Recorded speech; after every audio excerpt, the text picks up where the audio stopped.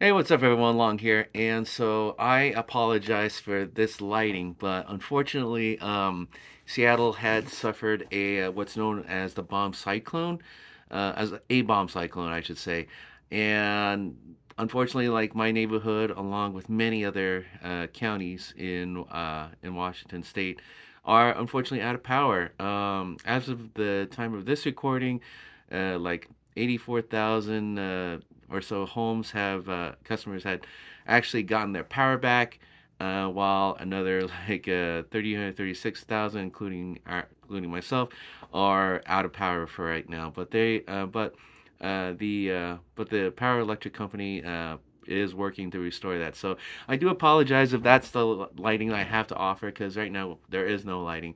So um, I spent uh, today getting everything all set up and ready to go because um, uh, because I just had other things. So uh, only now do I have time to actually like uh, show you this uh, uh, to record this uh, review. So, so yeah, I hope that you still enjoyed regardless. And if you like what you see here at the end, please do like the video, comment on what you enjoyed and what you didn't enjoy. And then if you want to see more content, hopefully not in this kind of setting, but perhaps like in a better setting when we when I hopefully finally get my power back. Um, yeah. uh, and if if you want to see more reviews from me, please do uh, uh, subscribe to my channel and hit that notification bell. All right. So anyway, um, so I posted uh, like a early. I posted uh, that um, I went to go see Gladiator and uh, Gladiator Two, and I I really meant it. It was so awesome. I could not believe it. I probably would have gone to see see this, uh, you know, with my own money if I hadn't gotten the chance to go see it thanks to GoFobo, uh, like which is a site where you can just sign up and then uh, like and then just be on the lookout for any screenings that they happen to have. And Gladiator 2 just happened to pop up on my feed uh, the very same evening, so I I had no plans to like see this before. And then, uh, and then, like when the opportunity came, I took it. So, they uh, so and uh, I gotta say it was quite awesome. I wish I could show you some more footage about this, but I think it's like a straight upload. Uh, I'll see what I can do with it. But anyway, I had needless to say, I just had a lot of fun, uh, just um, enjoying the uh, the the film. So, uh, so yeah. Um, so first coming into Gladiator 2, I did not have a lot of expectations about it, but my expectations got blown away. I was wondering what the heck Denzel Washington was doing in a, in a like a you know like a historical uh, film piece like this, but it all makes sense. And uh, I'm convinced that he played a pretty good and pivotal role in uh, in Gladiator uh, too. So uh, so that I'm just gonna get that out of the way there. And uh, Paul Mescal, who I've never heard of, actually, uh, I, he turned out to be very good. Uh, he I was sold on him as the uh, the Gladiator Hala, and um, and he has a very very uh, good pivotal role to play in Gladiator 2, and the connection to the first Gladiator will come into play later on. Um, so, but out of respect for uh, this week, there will be no spoilers to share. So uh, I'm just going to put it out there. I'm just going to make this as spoiler free as I can. And then maybe a week or so later, I will put up a spoiler discussion on this. So yeah, but anyway, let's go ahead and get right into it. So the um, uh, so the movie actually stars uh, Paul Mescal, and he uh, and his uh, uh, who is married, and they both serve um, they both serve um, in an army uh, that uh, that involves. Uh, so like it start, starts off uh, with Paul Mescal where he lives, and uh, he's he's married.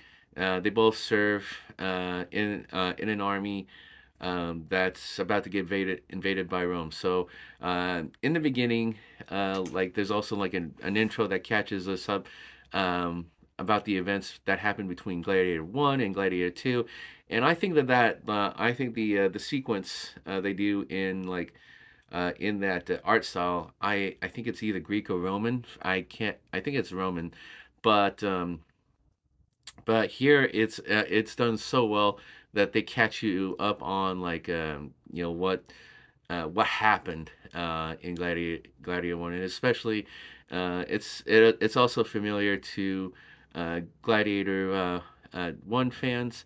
So I I very much appreciate that sequence. Just kind of reminds me of like what happened there. Anyway, um, moving forward. Uh, like uh, the husband and the wife, they get called into action along uh, with their city to defend, and so they uh, so basically like uh, Hala is the uh, is the warrior, is a soldier, and then his wife is the archer, and so they have their parts to play, and they they have like a very very glorious like siege that plays out, um, and. Uh, and so like uh, unfortunately uh, the uh, after unfortunately the uh, the city loses and then like uh, and then uh, Hala is like is taken prisoner and then later on is enslaved so he's basically taken to Rome to become a a slave to a to basically a yeah. Actually no let me go ahead and start over. So, um, so, so, uh, so, um, following the, so Paul Mescal play, uh, you know, like, a, uh, so after the, uh, after losing the war, uh, Paul Mescal, uh, a character Hala gets, uh, uh, gets captured and he's enslaved and he's taken to Rome. Uh, no, no, let me start over. So uh, the movie opens up with uh, Paul Mescal as Hala, and, uh, who plays the role Hala. He um, so he's uh, married. Uh, he and his wife both serve the military. He uh, he is a fighter, and his wife is an archer. Uh, and so like uh, they have to like fend off a, a siege by the by the Roman general Acacius, who is played by who's played by um, Pedro yeah, that's right, Pedro Pascal. Um, he's a really cool dude. Uh, I actually very much um, love his work, and he actually fits it pretty well. I mean, I don't think there, I you know, the attempts to like put on these act these Roman accents or um, is it's really like paper thin. I mean, like I don't think they even tried to uh, incorporate any like accents, but nonetheless, it was actually uh, pretty cool. So um, the fight happens and um, and then after the siege, like uh, Hala's uh, army loses, and then Hala himself is captured.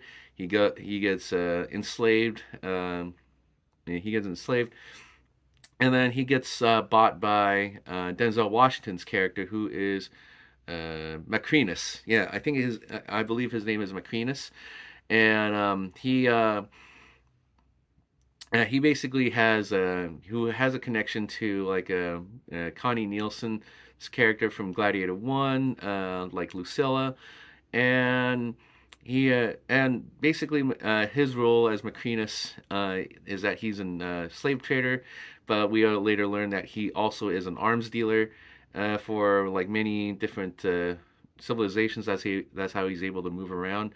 But he buys, uh, but he's impressed with uh, he's impressed with Hala, so he buys him, and then he this he basically tells him, "You will be my instrument." Uh, and yeah, very foreboding. Uh, and that's all. That's basically the only spoiler you're going to get. So I wanted to introduce these characters because uh, I think that they do an awesome job. Connie Nielsen really picks up from where she left off when. Uh, you know, at uh, when uh, Maximus met his fate, um, you know, in the Colosseum, uh, basically freeing Rome. But unfortunately, Rome, uh, Rome's like independence did not last for very long. The um, uh, the Rome is actually now has been overrun and is conquered by uh, by twin brothers. So essentially, they they are very emo. I don't know like what the motivations were with these like uh with these twin brothers. Why do they decide to like invade Rome? But uh, I I just basically like uh, I didn't really care for them that much. I mean, they were just like, I think they just they they got into that parts, and that's all I can say. I mean, like I I don't want to say that they're overacting or anything, but I mean that's basically uh, what. so I guess that's that's that was their take. But okay, that's cool. I mean, like I'm I'm I'm okay with suspending disbelief for this one, so I'll just take it that you know they're they're okay villains. I mean, they're just way over the top. Um, but whatever, it's all good. Um, but uh, yeah, but anyway, like going back to the uh, the four principal characters, I think Paul Mescal really sells it as Hala uh, and as a uh, uh, as a gladiator, and and basically like uh, I'm just going to leave it at that. If I say anything more than that, he I'm going to end up spoiling things, which I'll be happy to do next week. Hopefully when it's hopefully when there's actually power again. Um, but um, other than that, he's a, he's a great fighter he's got the charisma, and he actually like uh, he really does uh, come off as an actual gladiator. He's not, know, he's not Roman, but neither what, uh, but uh, well, yeah, he's not Roman, but then again, neither was Maximus uh, in the first gladiator. Kind of wonder like why is this guy uh, the second gladiator? Why do they choose to like do Gladiator 2 instead of just coming with a new title? And by the time you watch the movie, you understand why that is. And I, I actually was, I bought it. I bought the plot, uh, like afterwards. So I, I thought it was done. Uh, Pedro Pascal is great. Uh, he is General uh, Acacius. Uh, he is the one who, um, who invaded uh, Hala's, you know, like civilization, and then conquered, conquered his people, and then basically took him prisoner and all that stuff, and then he enslaves them. So yeah, uh, but basically, like, uh, so he is essentially Hala's target. He wants to. He basically wants him dead uh, in order to satisfy his bloodlust, his uh, like uh, Hala's uh, bloodlust and rage. So, um, hope, I mean, like, hopefully you get a chance to like see this and see it play out. So, now. Uh, now, finally, I'm going to get to uh, talking about Denzel Washington and what is his connection with this mo- movie. Um, that is the question that I'm going to go ahead and leave up to you, the viewer, uh, because it's it's actually pretty interesting. I, I thought it was a pretty interesting t- uh, twist, uh, but I uh, that's all I'm going to say about it. But I let's just say he has a pretty big role to play in this one. So, um, the what's notable about Denzel Washington is that his character actually was uh, written to be like a, to um, to be bisexual. Uh, it's not even implied. Not even implied. It's just like you pick up on the dialogue and you pick up on the mannerisms. But yeah, Denzel Washington actually plays a bisexual character, and uh, a rather ruthless one at that. And so um, it's nothing that, uh, but there's, uh, but I kind of like bought this as well. I mean, I think his motivations do work in this, and so like I, um, so I mean like, uh, uh, so it's like it didn't really matter for me that uh, he is uh, he's bisexual uh, in this one. Uh, what mattered is that he sold his role really well, and uh, I'll um, I mean like there's there's a lot I want to say, but I'm not going to say that. I uh, just basically wanted to like point out that this is going to be the first time um, that I've seen like a you know seeing um, this actually getting written into like a, a historic epic uh, like Gladiator 2. So yeah, not bad, very good. Um, I thought I honestly thought he was well written, and, and you'll understand why. Um, so yeah, so that's all I want. So that's all I want to talk about with the characters. So now let's go ahead and talk about um, you know, like what worked really well. Um, the fight scenes, I thought they were very versatile. I thought they, um, I thought it was like shot very, uh, shot very beautifully. Um, there's basically like there's you know there's the Colosseum fights, but then there's also the initial like siege, uh, the opening siege that takes place, uh, which decides Hollis' uh, fate, uh, journey, uh, you know his his journey, not his fate, but rather his journey. there's also a scene where um, um, where they actually do a good job, like uh, like uh, you know depicting the river Styx, and then like uh, the yeah the boat the man uh, uh, the boat ferryman uh, known as Charon. Um, so there's um, I, I thought they did those scenes pretty well. Um, I was there was a little bit of disbelief that I had to suspend. I had no idea that this would happen, but how they manipulate the Colosseum uh, in ways that make it that add some variety to the to the Coliseum games.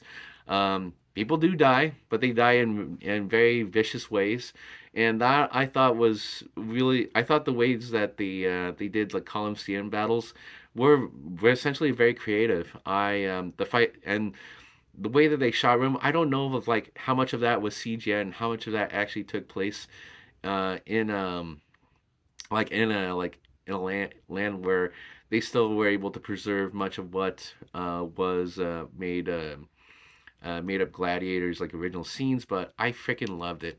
I thought the cinematography was incredible. I thought uh, it was done so beautifully. So uh, yeah it, there there's I, I mean like there there's just so much i could uh, talk about but it, it seems like they've done a pretty reasonably good job of nailing the authenticity of um, you know of Rome and then um, and then like the the set pieces. Uh, so yeah it, I thought it were they it worked out really well.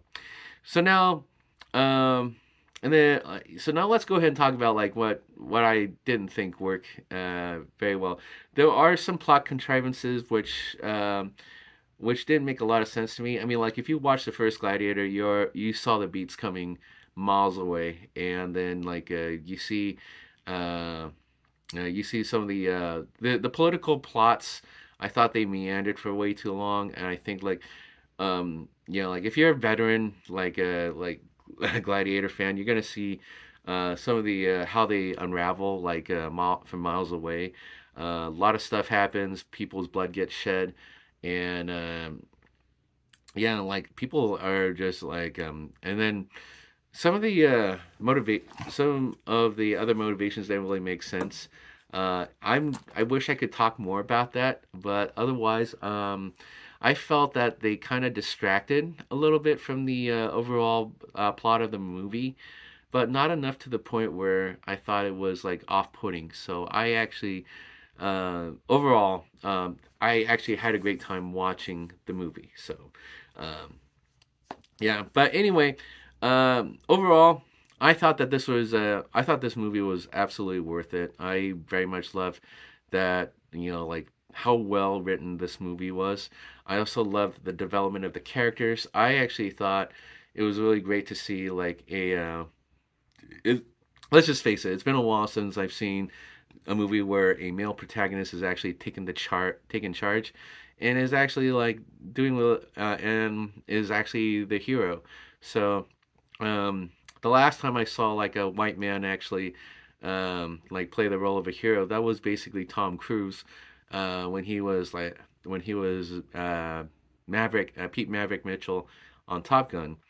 Those movies are like very like uh, like long forgotten in this uh, modern day Hollywood, which I don't know if it's going to heal or not. I know like uh, I know like in the aftermath of of a lot of things that's happened pretty recently. I'm not going to like divulge uh, dive too far, far into those events, but um, I I don't know. I think like this is kind of like one of those like lost art kind of movies where you know if you had all the creative freedom in the world, uh, this is the kind of movie I would totally go out and see. I mean, I'm not I'm not into like forced diversity. I'm not into like forced uh, you know like you know race swapping. I didn't see like any of that race swapping here because it's because the way that this movie was written and it was actually made. It was, you know, the, a lot of precedents were already set in the first Gladiator, which made a lot of sense. I mean, the scenery made sense, the setting makes sense, uh, the civilizations that interacted with one another made a lot of sense.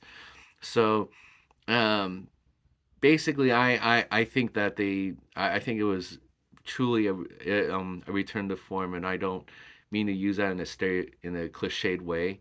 But this is really a return to form in the way that like the movies I grew up with uh, were, and I loved every moment of it. So yeah, call me uh, old, uh, acquainted, antiquated, but old fashioned. But I think in this case, like old fashioned, absolutely works. Um, Paul Mescal really sold it as the gladi, the the titular uh, second gladiator. So I'm um, I'm quite happy with his performance. Um, and but Denzel Washington was such an outstanding like addition to uh, the uh, to the cast. So I hear that there's going to be a Gladiator three. Uh, I don't know if that's going to pan out very well maybe if it uh, depending on like how well people in this day and age will receive the movie maybe like uh, there will be a gladiator 3 in the works because this one really succeeded uh, on every which way po- almost every which way possible so um, if i had the chance to read it i would basically give it an 8 out of 10 so um, definitely like worth worth the time and money to go see out in theaters the the set pieces are spectacular uh, otherwise, you could see it on in stream, but I probably it, you probably will not get the same experience as before. So I think they were pretty extraordinary. It's not 3D, but it is a it's quite the visual experience to uh, to behold. So anyway, uh, also um, I I still crushed on Connie Nielsen. Um, I I really liked her when uh, when I first saw her for the first time growing up, and now uh, now in this age, I I still love Connie Nielsen. Um, I think she was just beautiful and fantastic. So yeah. Anyway, um, that's it for me. But thanks again for watching my review. If you like what you saw here, please do like the video, comment on what you enjoyed and didn't enjoy, and if you want to see more content like this, hopefully in a better setting. Uh, then subscribe to my channel and hit that notification bell. All right, that's it, everyone. Thanks a lot, and hang loose.